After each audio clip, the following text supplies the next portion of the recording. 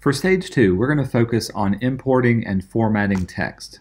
Before we do that, let's return to our Layers panel and turn on visibility for that last rectangle, that black rectangle we have in the bottom.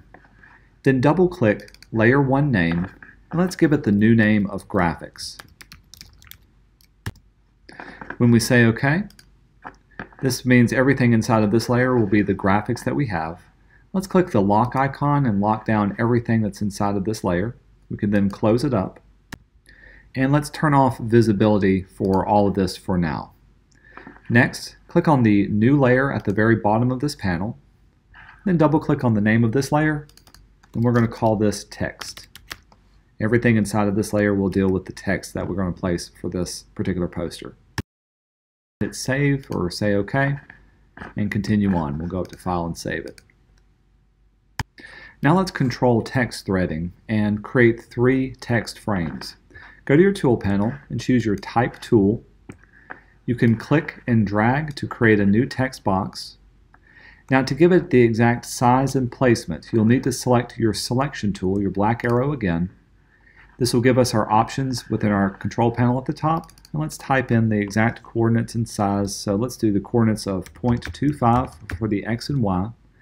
And the size of this first one will be 10.5 for the width and 0.625 for the height.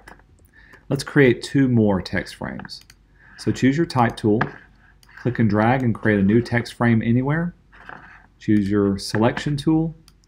For the second one, let's give it an X location of 5.75 and a Y of 1.5.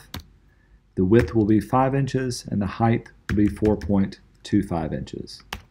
So place it nice and off to the right hand side. To create a third one, choose your type tool, click and drag again, choose your selection tool, and for this final one, give it a x coordinate of 4.75, y coordinate of 7.9, a width of 6.25, and a height of 0.3. This will give you a text box down at the bottom right hand side. Now you can choose your type tool one more time and let's click inside of this first text frame. You should see an insertion point right there. If we go up to File, down to Place, let's locate the Festival text file and we'll say Open and you can see it places it inside of this particular file. The problem is all of the text doesn't fit inside of this one frame. Instead, we want to be able to break up the text so that it flows into these other frames that we've created. So to do this, choose your selection tool, the black arrow one more time. I'll close my layers to get it out of the way. And carefully click on the little plus icon on the far right hand side. This is your threading icon, the outport. Notice that it will follow your cursor until you click inside of the second text box. And this will thread your content into here. Let's do the same thing. We're going to thread it from the second box to the third. This time, click on this bottom icon. Even though there's not a plus inside of it, it'll still allow you to thread from this box down to your third text box, down at the bottom down here. Notice that it doesn't really show any change from here. Later on, we'll break it up and, um, and flow the text with that. If you want to see your text threads, you can go to View, down to Extras, and choose Show Text Thread, and you can see where these threads are being threaded and uh, linked up to. To hide them, go back to View, Extras, and choose Hide Text Threads. We'll go to File and Save and continue on. All right, now let's break up the text. Grab your Type tool one more time and let's place our insertion point right at the end of festival. So you should have your blinking cursor right there. To break the characters to the next frame, let's go to Type, down to the very bottom to insert a break character. In our case, we're going to break it to the next frame. So choose Frame Break. Notice now it automatically jumps everything that's after that to the very next frame. One problem that we have with this is that it has an extra um, point to it, so we can use the forward delete key. This is the one that's not above your return key. It's actually off to the side. and that will delete away that extra character or extra space. If you ever want to see your hidden characters, such as those paragraph returns, you can also go to Type, and at the very, very bottom choose Show Hidden Characters. This will show you where all of your paragraph returns and even your frame breaks are going to be. One more frame break for the website at the very bottom of the second frame. This time, place your insertion point at the beginning of the www on the last line. Then we can go back up to Type, choose Insert Break Character, and Frame Break. That will break it down to the very next frame.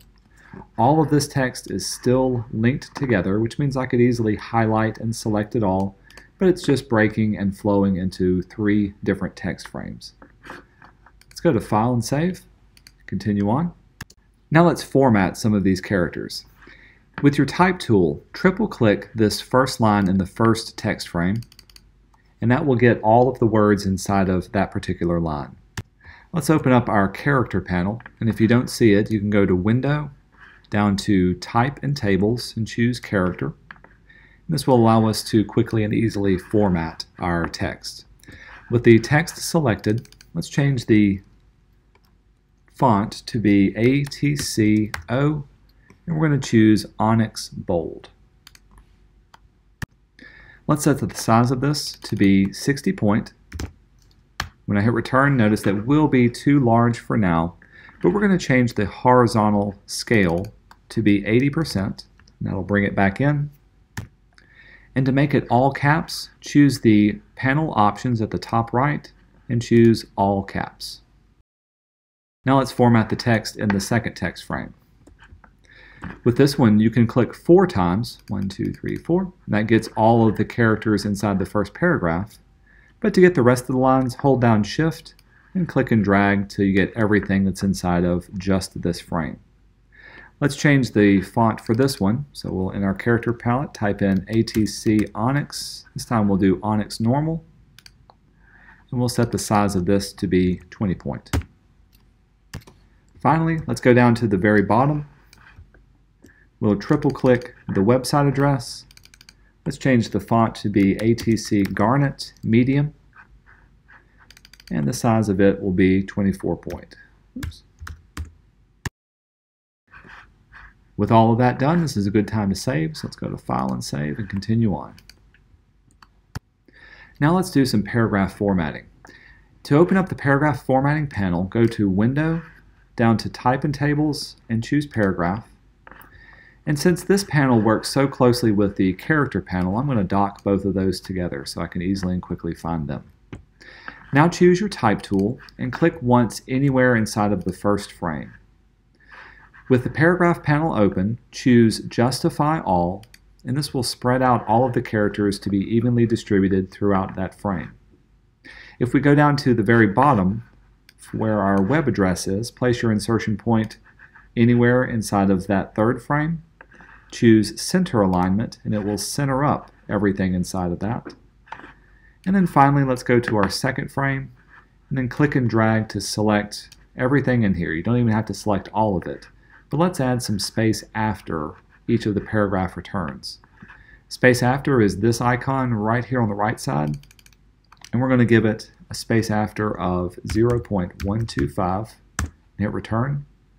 Now that will be a little bit too much space for some of these. So let's highlight Carolina Reapers through women's letters. Then click the down arrow just once to bring that in a little bit and pull the rest of your information back up. With this text still selected, let's give it a left indent of 0.3. The left indent can be found on the first one, so we'll type in 0.3, hit return, you can see it pushes everything over. Now we've made one slight problem. We should have also included the mystery machine as part of this formatting. The quickest way to incorporate it is to place your insertion point right here at the end of letters, choose your forward delete, and that'll bring it up. Then when you hit return again, it'll automatically keep the same formatting as the, uh, the part before. With the master mystery machine still selected right here, let's change that space after to be back to 0.125. And let's press Command Option I to turn off the visibility for the invisible characters. With the formatting of all of the text done, let's go back to our Layers panel. We'll turn on visibility for the graphics to see all of that. Then with our Type tool still inside of the text area, hold down Command A to select all of your text. Let's go up to our Swatches panel at the top. Make sure you see a T inside of here, and you can see there's a T selected here and choose paper as the fill color to change the fill color for this to be white. We can then click off of it to deselect it. And if we highlight the top frame, all the words inside of it, let's make this be our new Pantone swatch. So with that selected, still got our type selected, scroll down, choose Pantone to be the color of this, then highlight our web address and set your fill color for that text to be the Pantone as well. Once we're done, we can choose our selection tool. I'm going to move my character and paragraph selections off to the side. And let's preview it. Going back down to the very bottom, click on Normal Mode and choose Preview to see what that looks like. To go back, click and hold down here, go back to normal. We'll go to File and Save and continue on.